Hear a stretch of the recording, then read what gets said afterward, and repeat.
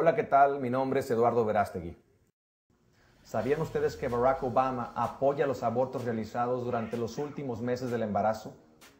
¿Que Obama apoya los inhumanos abortos de nacimiento parcial?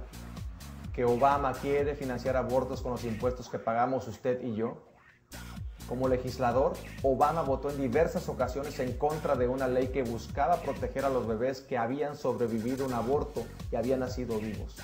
Obama se ha comprometido en remover todas las leyes pro vida que actualmente en muchos estados ofrecen protección a los bebés aún no nacidos y a sus madres. El señor Obama no está de acuerdo en que los padres de una menor de 13 años que haya quedado embarazada sean notificados antes de que ella aborte a su bebé. Leyes absurdas como esta, que ignoran la opinión de los padres, son precisamente las que permiten a pedrastras y a depravados sexuales forzar a jovencitas a tener abortos en secreto para encubrir sus crímenes sexuales. A Obama le interesa más mantener la legalidad del aborto que el bienestar de los bebés, los niños y las familias de este país.